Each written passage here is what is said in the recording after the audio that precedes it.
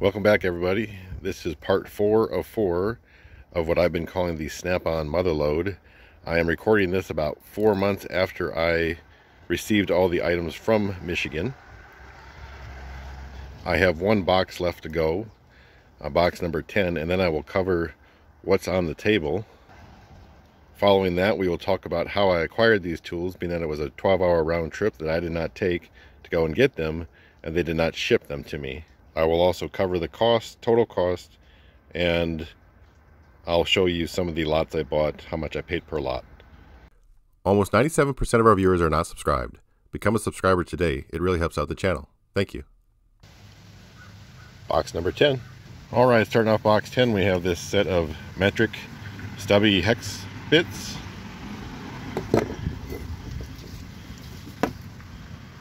And then a, a standard set of SAE snap-on, of course, just like the first set. We have this uh, KD pliers.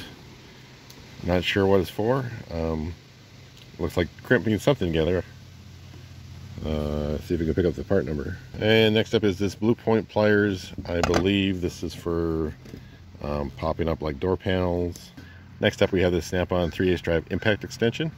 And we have this little set of, uh, uh, it's a little set of uh, Torx screwdrivers. So next up we have this set of uh, Snap-on metric hex bits. We've got a 3 ace drive, a set of low profile sockets, metric, Snap-on. Uh, this little case was at the bottom of the box. It's from a set of Wright tools. We have this uh, mini Snap-on stubby round head quarter inch drive, so it's a fine tooth ratchet. Nice little hard handle quarter inch drive ratchet. A long handle uh, quarter inch drive ratchet. And then we have uh, looks like a four inch extension. Ooh. We have a 10 millimeter 12 point uh, quarter inch swivel. That's always a good one. Then we have a two inch extension, one inch, and here we got a six inch wobble quarter. And there's this little breaker here. Uh, this breaker bar is actually made by Wright. All right, next up we have this set of locking extensions that would go into a hex bit driver or a drill. Yep, it does say snap-on. That's a pretty neat little set. All right, moving on, we have this set of uh, quarter inch drive low profile metric sockets, snap-on. We've got a rail here with snap-on SAE, a deep and shallow quarter inch drive. All right, next up is this um, AccuTire uh, tire pressure gauge. I don't know if that's a good one. Um, sure comes in a nice case. So this is a set of snap-on quarter inch swivels, metric, plus uh, a little swivel adapter. So this must have been on here, and the mechan or and when I picked up that set with the magnet, must have pulled it off. You know, I go back and forth whether I should use rails like this in my toolbox or magnetic holders like that. Let me know if you guys have a preference. They're both very nice. Now we also have this 3 ace uh, lock button uh, swivel, snap-on, impact swivel. And then we have another rail in here. Uh, these are actually Matco quarter inch drive uh, SAE swivels. And then we have this set of deep quarter inch drive non-impact magnetic sockets. And next up we have this uh, set of metric, I would think these are deep or semi-deep impact swivels by Snap-on. Nine pieces, I don't know if that's a full set or not, but nine pieces in here. All right, next is this Snap-on, let's see, is that OCR2?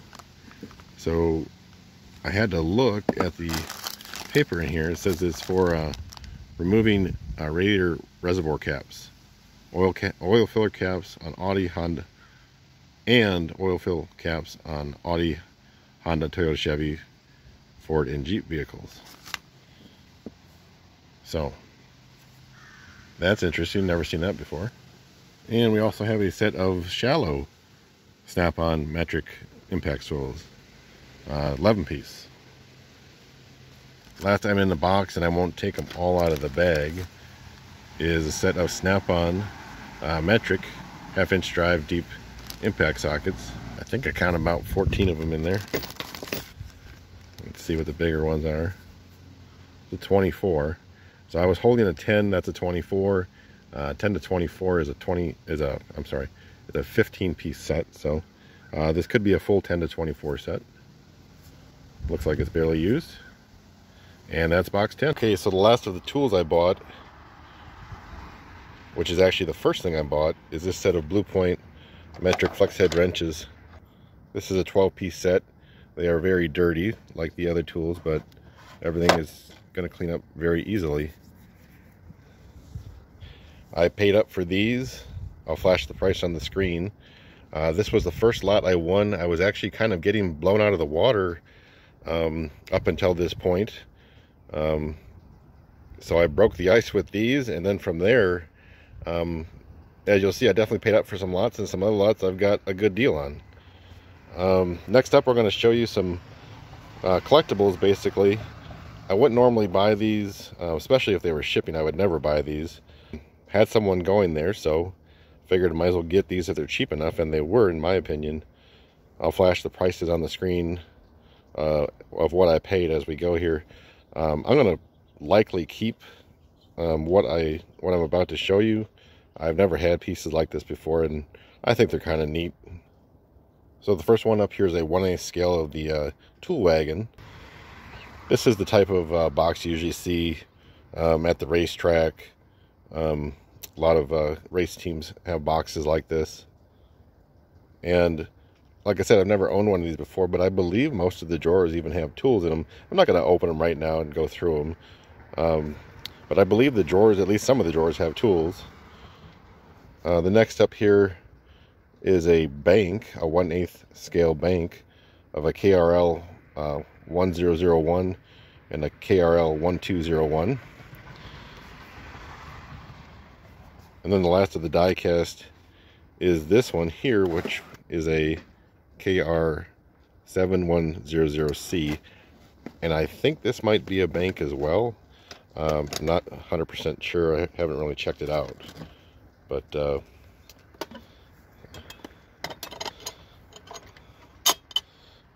I don't really know how this operates totally. I know when you push down on these, it opens a couple of drawers. And I see one of the drawers has a couple tools in. And I think there's only two or three drawers in this one that actually open. And then it has the side locker here. So I don't know if it's actually a bank, but uh, I guess I'll have to look into it. It does have this uh, piece on the bottom that opens, and I'm not sure why I would have that if it wasn't a bank, although I don't know where the money would be going in if it was a bank. So yeah, I have to do a little more research on this one. And then the last thing I got here is a four piece, so it's only a setting for one of this uh, flatware by Snap-on. So that ends what I bought. Now I'll go into detail about how I uh, received these and what I paid for them. In the first video, I mentioned that this auction was over six hours away each way. It was on the pickup was on a Tuesday. I have an 11 year old child. I'm a single father. I can't just duck out for a full day. I have an uncle that lives in Phoenix that likes to come home once or twice a year to visit family. Well, if you're into tool haul videos, he also does tool haul videos where he focuses on Snap-on, Mac, Mac, Matco, Cornwell, and you know just really clean, nice old stock Craftsman tools and so on. So if you like tool haul videos, I'll leave a link in the description. Check him out. Give him some subscribers. You know, it, he makes good videos and has he has good tools. He agreed to fly home, visit with family for a few days, and, and drive up and get them for me. He drove up on Monday, spent the night, loaded up first thing like 7 a.m. on Tuesday and drove them back to Appleton, which is a three hour round trip for me. So I met him up there. We did the switch. Of course, you know, I need to compensate him for this. if we look at lot 52, it was a box full of ratchets. There's 18 ratchets in the box, 14 are snap on. Well, I mean, there's a couple breaker bars, but 14 are snap on and four are blue point. Just really high end stuff that, that you'd really pay a lot of money for if you bought them off the truck. So I came up with the idea that, hey, you can take half of this box, uh, you can have first choice. And he agreed to that. So I paid 560 on the hammer price for this, all in 645. So if we look at it like, well, half a box cost me 325, um, that's basically what I what I had to pay out of pocket. Now, retail, let's say eBay value, he walked away with uh, $775 worth of ratchets. Uh, he was good with that, and I was good with it. I've actually paid more in shipping for a lot less. Uh, you got to be careful with these auctions online. You will get burned bad with the shipping. You better figure out how they're going to ship, who they're going to use, how much they're going to charge you uh, for handling and all that stuff in advance because you will get burned bad and it'll make a good buy a bad buy extremely fast. Um, as far as what I paid for everything in total, I'm going to kind of flash some of the lots on the screen. You'll get to see the sold price.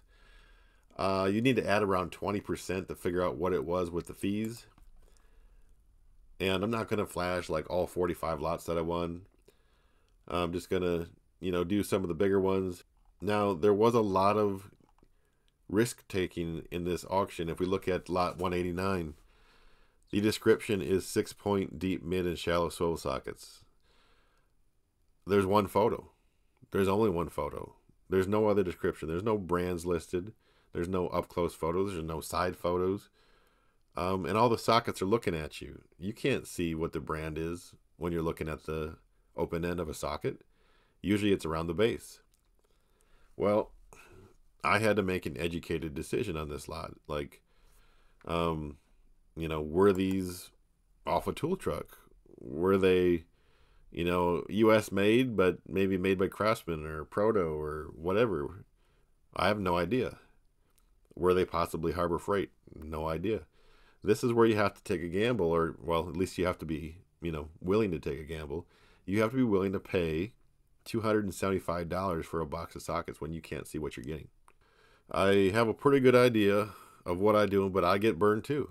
I mean, I've I've bought stuff that I thought it was uh, something, and it, it turned out to be something else, and I paid shipping for that stuff, and I got burned on the buy price, and I got burned on the shipping because I didn't want it in the first place. But I looked at what this person was selling, and everything, one after another, was Blue Point, Snap On, Matco. There was no junk in here. And the fact that they're on rails that cost $30 a piece tells me they're probably not crap sockets. Well, when I got them back, turns out four of the rails were snap on and two were Matco. And the far left rail, that's a half inch impact swivel set metric snap on. Those are near a thousand dollars new.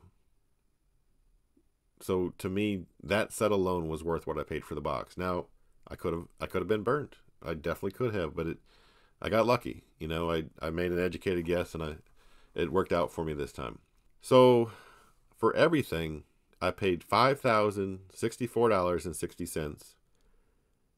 and then I gave away, I guess, uh, potential sales of seven hundred and fifty dollars in ratchets, and I drove three hours round trip. So that's what it took to buy these to get them back home, and uh, turns out pretty much everything I didn't know what it was turned out to be Snap on. Not only that, it was all really clean and uh, that's all for this one. I really appreciate you guys watching. I know it's kind of a pain to watch four different parts.